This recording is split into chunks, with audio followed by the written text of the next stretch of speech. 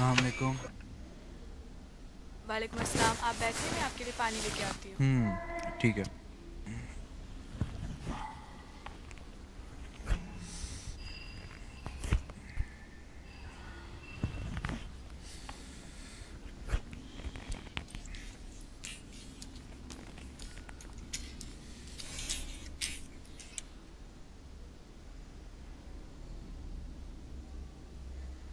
जयान आपसे कुछ बात करनी थी। हम्म बोलो।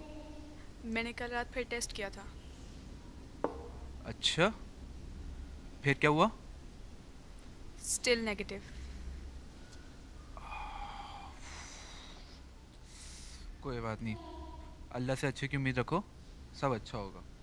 क्या अच्छे की उम्मीद जयान? दो साल हो गए हमारी शादी को मेरी सारी दोस्तें माँ बन चुकी हैं। तो इसमें मैं क्या करूँ यार? मेरे हाथ में तो नहीं है ना ये सब। मैं बेजार आ गई हूँ इस हर बार की डिसअपॉइंटमेंट से। तो हॉस्पिटल जाओ और जाके अपना टेस्ट करवा लो। क्या मतलब टेस्ट करवा लो? वजह मालूम करनी है ना? तो जाओ फिर। जयान आपके कहने का ये मतलब है कि बच्चे ना होने की वजह मैं हूँ? तो और कौन है? दो साल से नहीं हो पा रहे इसका सीधा मतलब यही है ना कि तुम में कुछ मसला है। आई कांट बिलीव दिस आप भी कह रहे हैं कितनी घटिया सोच है आपकी। सही तो कहा है इसमें गलत क्या है? तुम तुम माँ नहीं बन सकती।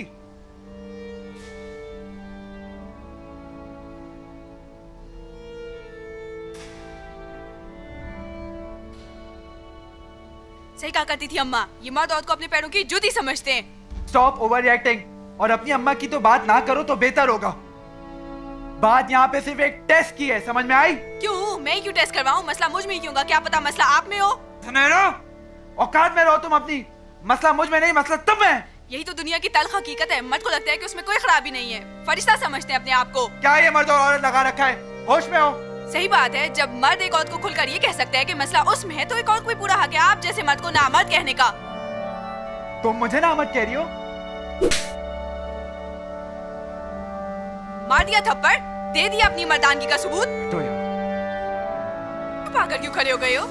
तुम जैसे लोग माशे पर धब्बा है। सही कहा था हो तुम नामर्द। नहीं हूँ मैं नामर्द! नहीं हूँ मैं नामर्द!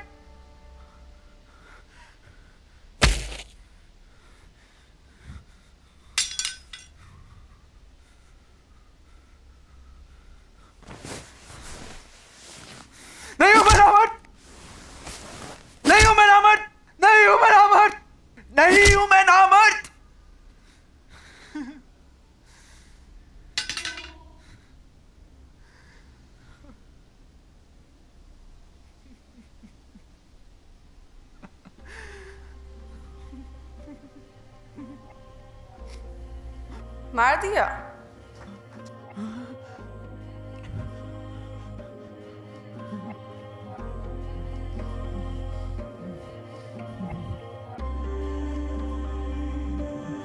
आपको फ़िल्म पसंद नहीं आ रही? बदल दूँ?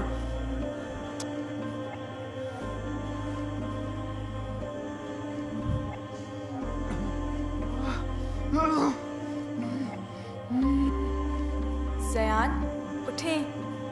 मैं माँ बनने वाली हूँ।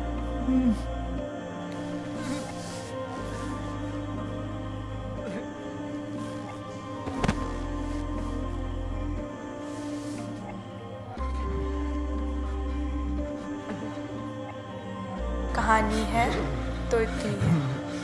फरेबे ख्वाबे हस्ती की, कि आँखें बंद हो और आदमी अफसाना हो जाए।